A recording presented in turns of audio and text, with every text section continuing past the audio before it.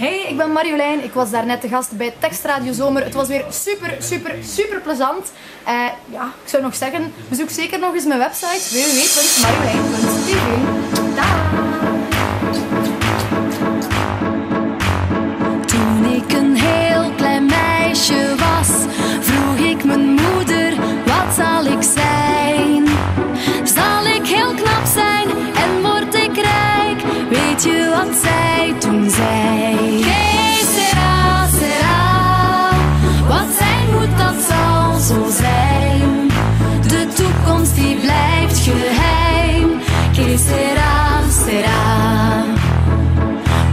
Zijn zal zijn.